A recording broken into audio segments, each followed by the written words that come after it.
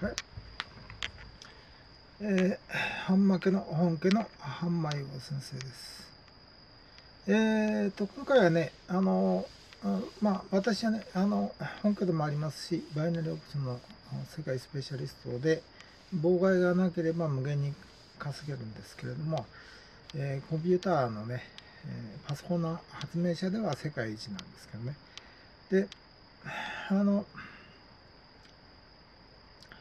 えー販売妨害はもう人間全員がしてくるんだけど、二重人格でね、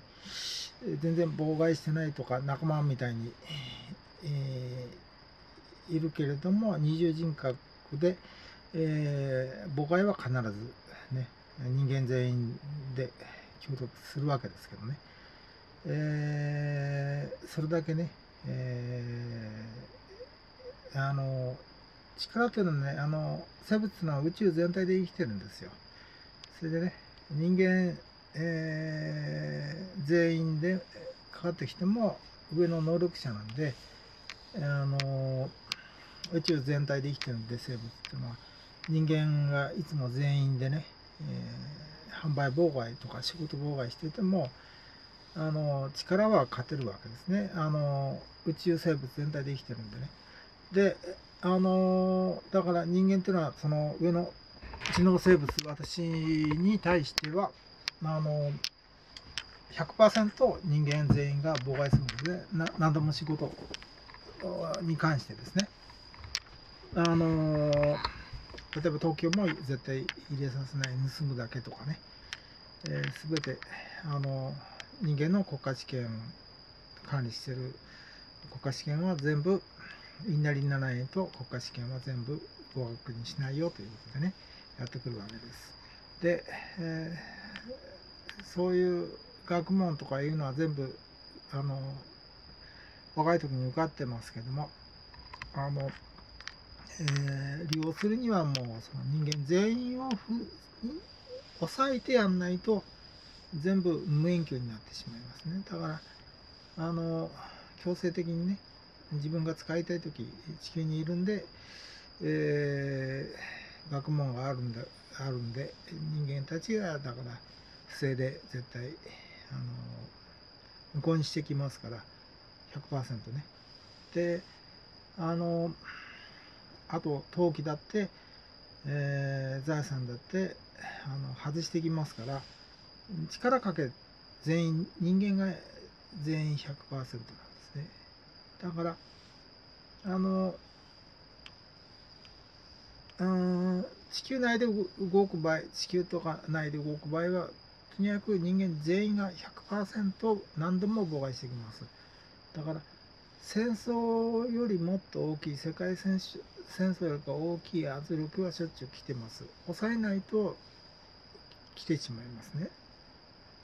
えー人間が起きてる世界戦争よりかもっと大きいですね。あのこれはそのハイテクでね抑えてるだけなんですね。で常時人間たちはその世界戦争より大きい力をあのやってます。で、えー人間たちの軍事力とかは全部、うん自分たちのことじゃなくてこの私ね上の生物に対してやっつけるために軍事力を作ってるだけですね。だから予算も全部そうですね。対抗するためにやってるだけなんですね。だからえーそれでね来てまして何でもそうですね。だから買い物もでもねあの昨日ちょっと行ったんだけどもやっぱりあのちょっとあの不安取っとかないとやっぱ妨害してきますね。あのこれは体に悪いよとか言ってね買っちゃダメだよとか言ってきてというのはジュースを何十本も買ったりとかね美味しいもの買ってたらやっぱり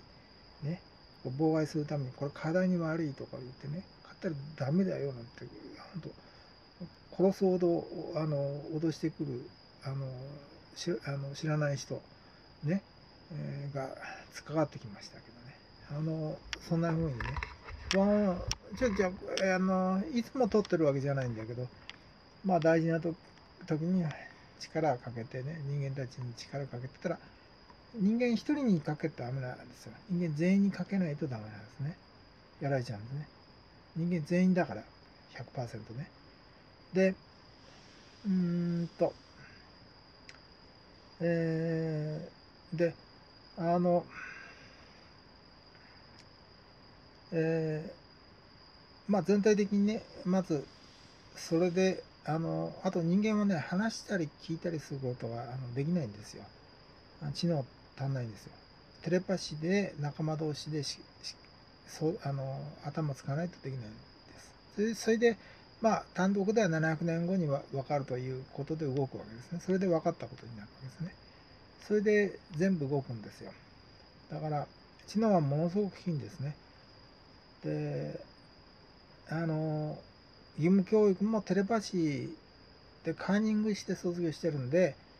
人間には誰もね博士号を取ってる人でも義務教育卒業できた人は誰もいないんですよね。あの全部カーニングテレパシーのカーニングなんですよ。それと私との違いなんですね。全部私の方は覚えてるんだけど。でまあそもそもあのこの地球というのは私があの昔あの、えー、地球と太陽が生まれる前に存在してまして。であの SF 映画の「スターゲート」の石棺というのを発明したんですね。それで宇宙戦争で殺されちゃってそれで地球と太陽を育てて今の人間から生まれ変わってでその私が勉強するためにエレクトロニクスなんかを準備しておいて地球にね私が生まれ変わって、えー、来る勉強のために作ったものなんですね。あのエレクトロニクスとか科学技術というのは全部そうなんですよ。であのダ・ヴィンチだとかあのレオナルド・ダ・ヴィンチとか発明者がたくさんいるけどもこれは私のだから知能をで教えてね。それで準備